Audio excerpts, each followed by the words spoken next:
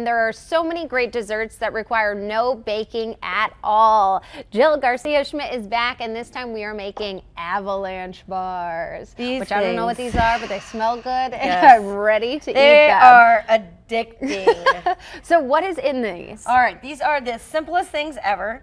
Um, you start with white chocolate or almond bark, whichever Okay. you like. I prefer the way that almond bark melts over um, the white chocolate chips. But so are there almonds in it? No, it's actually.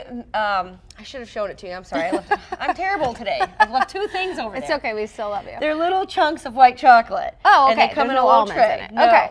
And so, uh, but it has a slight almond and vanilla flavor to it. Oh, okay. All right, so, that you're going to melt that in the microwave in a large bowl for one minute. Mm-hmm. Then you're going to add a quarter cup of your favorite peanut butter. Okay. All right. Can you use natural peanut butter or not as good? Yes, but before you add it, you have to stir it really, really, really well to Okay. incorporate all that oil. Okay. All right. And um, if you have to, you may even drain some of that oil off first. Okay. Okay.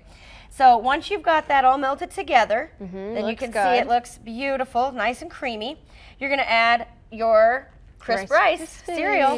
In this case, we're going to add about three cups. Okay. And then you're just going to fold it all together. Do you have to move it. pretty quick with this? This no. Now Okay. normally when you make Rice Krispie treats, Yeah, you gotta move you have to move fast, and Yeah. it is a mess. this is actually easier, takes less time, and is easier to clean up. Oh, love all of those yes. things. The Okay. only trick to this is is that um, once you have it all incorporated, you want to let it sit for a couple of minutes so that the chocolate doesn't melt too much. Now, Oh. one of the things I like though is to have a marbled look. Yeah. So I like to add the chocolate in uh, to get it melty a little bit, as you Okay. can see from the Yeah, finished these ones look here. pretty. They have a little bit more of a marbled look. To Okay. Them. I'm a chocoholic, so the more Same. chocolate flavor you The get in there, the better. so let's just pretend that this has sat for a couple of minutes. Okay. You're gonna add a half a bag of your favorite mini chocolate chips. Mini? They have Mhm. to be mini? It's the easiest to eat that Okay. way. All right. And then you're gonna add a half a bag of your favorite mini marshmallows. Ah. And again, you're just folding it in. Now, we could talk about folding all day, but what I want to talk to you about is preparing the pan. Okay.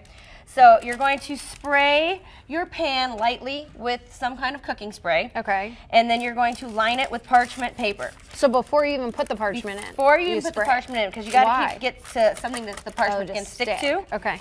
And then the sides that aren't covered will, will then uh, be able to pull right out. Oh. So once you have this all incorporated, you're going to put this all in the pan and then you're going to smash it down. All right. Okay. Got it.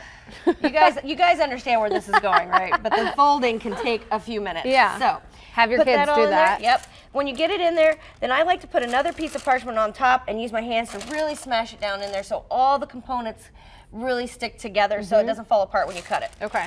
So then you let it sit. A couple hours is all you need. Just out on the counter? yeah, Do you have to just put out in the fridge no. or anything? If you put it in the refrigerator, then you're gonna need to let it sit at room temperature for at least an hour before you cut it. Oh, okay. Otherwise, it, it's kind of No, hard. No, we want to cut right in. So let's go ahead and So I'm going to is what enjoy one with you because these please. are ridiculously delicious. You can Okay. see the.